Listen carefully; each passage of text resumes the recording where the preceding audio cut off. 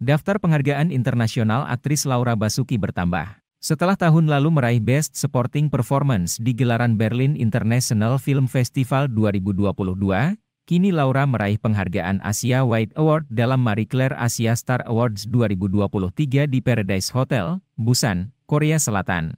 Acara tersebut merupakan kerjasama antara Marie Claire dan Busan International Film Festival. Film terbaru Laura, 24 jam bersama Gaspar, masuk sebagai salah satu film yang diputar di festival tersebut dan berkompetisi untuk Kim Ji-seok Award, salah satu award prestisius di BIF. Laura mendapat penghargaan atas perannya sebagai Kaika.